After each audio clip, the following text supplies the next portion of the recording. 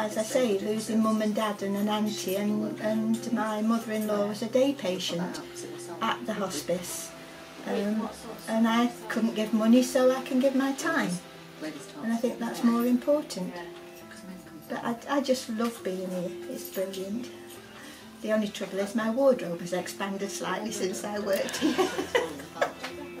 it's lovely just to walk in and you feel wanted. That's the word, I think, more than anything. It's one of the most rewarding things that I've done in my life because you feel that you're making a difference, you're making people smile. We give them something and we get an awful lot back. We have got almost double the number of volunteers that we had paid staff and volunteers bring something very different and very unique to Ashgate because what they do bring is their time it's so important on the inpatient unit because as everyone knows the nurses and the clinical staff are busy but volunteers have that extra bit of time to be able to spend and chat with with patients with relatives uh, and even out in the shops.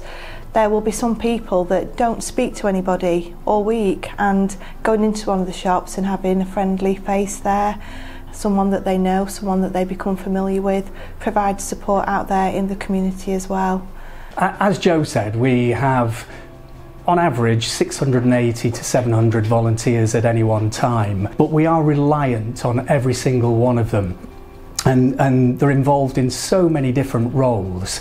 But in order to get volunteers registered with Ashgate, we do, we do like to treat them uh, just as we do our staff. That is to say that we want them to do a, an application form, we call it a, an inquiry form, and it's my responsibility to check uh, and get references for each and every one of our volunteers.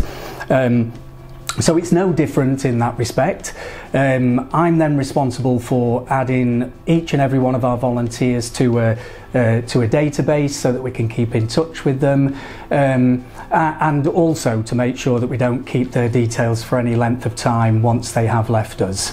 Um, I'd just like to say a massive thank you to each and every one. We, we never really get that opportunity except when they leave. Um, but to each and every one of you out there, thank you so much. It's, it, it's because of your efforts that Ashgate can carry on doing what we do.